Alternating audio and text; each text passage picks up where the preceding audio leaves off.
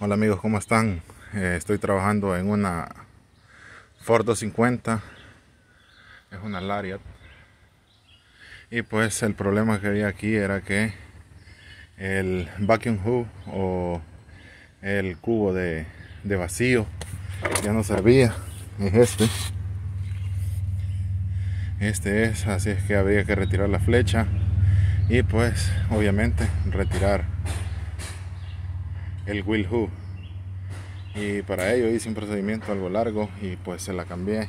Y pues por el trabajo no pude grabarlo muchachos pero ahí ven ustedes que la cruceta está nueva. Y pues ahí está el wheel hub que está completamente nuevo. ¿cuál era el problema? pues que no entraba la, la 4x4 y cuando no entra la 4x4 lo que hay que hacer es revisar el vacío. Aquí pueden ver yo tengo un dispositivo una herramienta que me ayuda a medir si hay fugas de vacío aquí en el wheel hub. Y pues como ya lo cambié ya tengo vacío. Y pues si se fijan allá está enganchando la 4x4 y pues para eso eh, pues desconecté la manguera que envía vacío a este wheel hub para que automáticamente la 4x4 se abra y pues active los cubos para que tenga tracción en las cuatro llantas.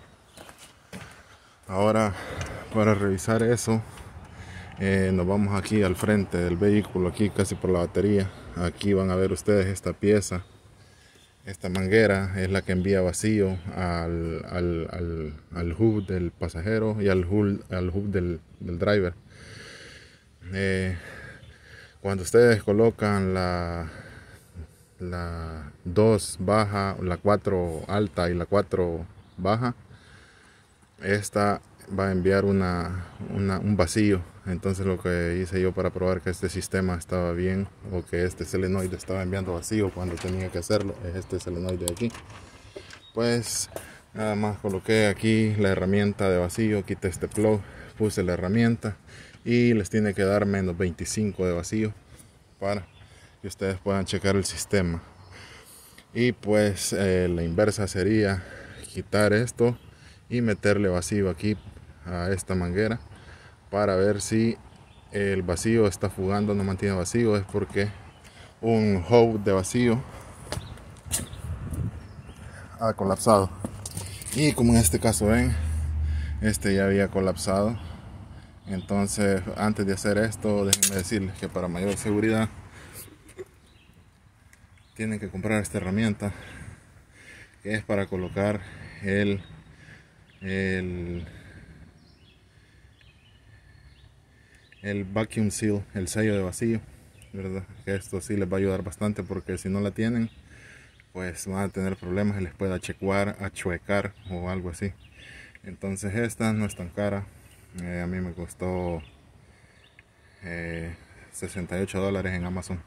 Así es que si deciden hacer este trabajo, pues sería bueno que tuvieran eso. Y pues y también ir a Ford y cambiar este a comprar los, los horrines.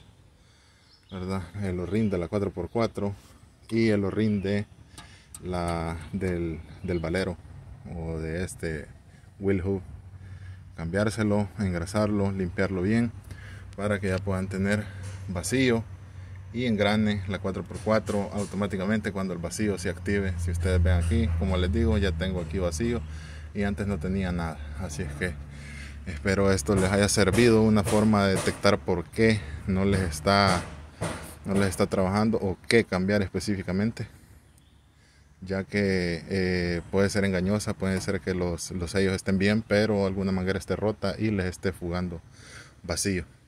Así es que eso es todo, amigos. Eso es un pequeño, un pequeño adelanto aquí de, de este problema de la F250, que es el colapso de los sellos de vacío, por lo cual cuando ustedes ponen de este, las, las tracciones para las cuatro ruedas, no tienen ese movimiento. Espero que les haya servido esta información, la pongan en práctica y pues con un vacío de esos, con una máquina de vacío de estas, ustedes pueden ah, detectar más fácilmente este tipo de problemas. Suscríbanse que me ayudan un montón y gracias por ver el video.